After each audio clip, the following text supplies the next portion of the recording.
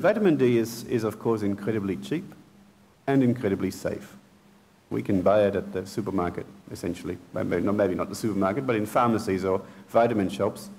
Um, and it really is incredibly cheap. You can buy about um, uh, eight months worth of treatment um, for $25. Um, so if you Google vitamin D and MS, there are about uh, 1.5 million hits, and almost all those websites tell people with MS to take it.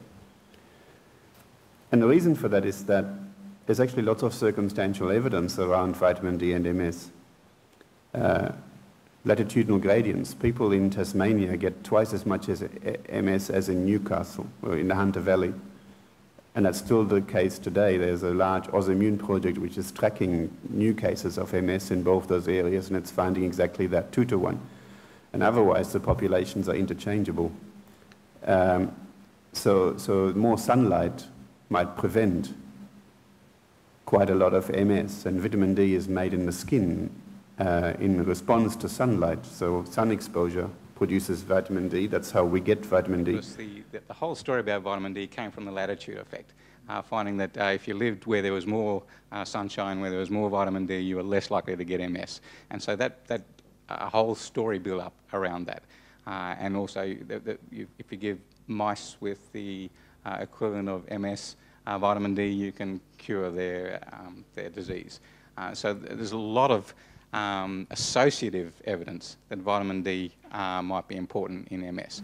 Relapses of MS are much more common in late winter and early spring when, um, and in fact, we're just going through the late winter, early spring period, and I can tell you clinically that's absolutely the case. We're you know, organizing lots of relapse treatments right now. Some of you might have had late winter, early spring relapses. Um, MRI lesions, much more common in late winter, early spring. Uh, if you take vitamin D blood levels, as a very beautiful study in Tasmania has recently done, you can clearly show that for people, when people have lower vitamin D blood levels, they're more likely to relapse. So there's lots of circumstantial evidence that links low vitamin D levels to disease causation and disease activity. Um, and therefore,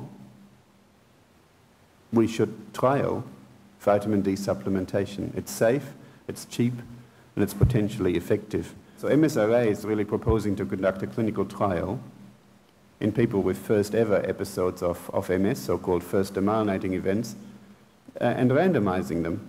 A placebo trial, so placebo versus 1,000, 3,000, or 6,000 units, following people up for up to a year, measuring in great detail how much new inflammation they have to, to, try and, to try and get the answer. I think it's potentially very exciting and actually has a decent chance of working, but we would like to create the evidence around it, especially around how much people should take.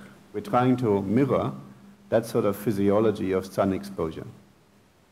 You know, if you are um, basically a traditional lifestyle African or Australian Aborigine, you run around with uh, a typical blood vitamin D level of between 150 and 200, around 150.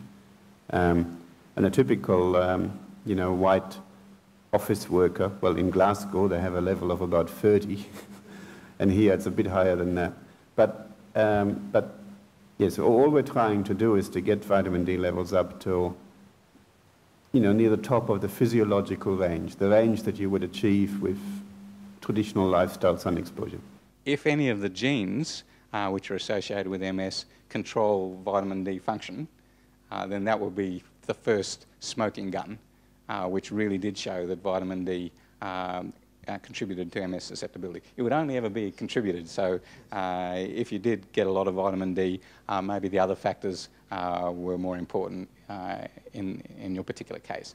So it's, it's not going to be a huge effect that dominates everything else, but it could certainly be contributive. And I can tell you that the ANZgene study um, found a block of genes which were associated with MS, and in the middle of that block uh, is the single gene which activates vitamin D. So we're um, trying to run a clinical trial in multiple sclerosis of vitamin D. It's extremely attractive because vitamin D is very safe. So the question is, well, why don't we just ask everyone with MS to take it? The problem is that we don't know the right dose. And we don't know if, like other drugs, it might actually worsen MS at certain doses and improve MS at other doses. We simply don't know. So we need a clinical trial. And by clinical trial, I mean a group of people at the earliest stages of, of MS, usually after the first episode ever, who are prepared for a period of time to what we call be blinded. Blinded here means that they will take a capsule and they won't know what's in it. It could be placebo, it could be a thousand units of vitamin D, 3,000 units or 6,000 units of vitamin D a day. And they go through the next six to 12 months being intensively studied for any evidence of new inflammation. And the people who are doing that studying, the neurologists, the radiologists analyzing the MRI scans that these people will have, do not know whether they are looking at a person taking placebo or nothing, taking 1,000, 3,000, 6,000 units, and they will then, at the end, be able to tell uh, when the code is broken, so to speak, who did best, who had the least amount of relapses, who had the least amount of new inflammation. And this kind of trial which would probably take about 300 people with MS and would be conducted in perhaps 25 large MS centres around Australia and New Zealand, um, would actually answer the question, does it work? And how good is it? And what dose should you take? In the context of vitamin D research, pharmaceutical companies are not interested in this product. It's cheap. I can buy 200 days, almost a, you know, a year's supply for about $30. Just, no one's going to make a significant amount of money for it and that mean, from it, and that means that no one is prepared to put in millions and millions of dollars to actually research it. So the Melbourne Brain Centre is conceived as an idea to facilitate that, to provide the image storage, the image analysis capacity, the data management. It's, it's a three to four million dollar project and, and we want to specifically provide this for what we call investigator initiated trials. So these are trials which people with multiple sclerosis, Multiple Sclerosis Research Australia, neurologists, radiologists looking at scans want to do in collaboration, but where there are no financial outcomes.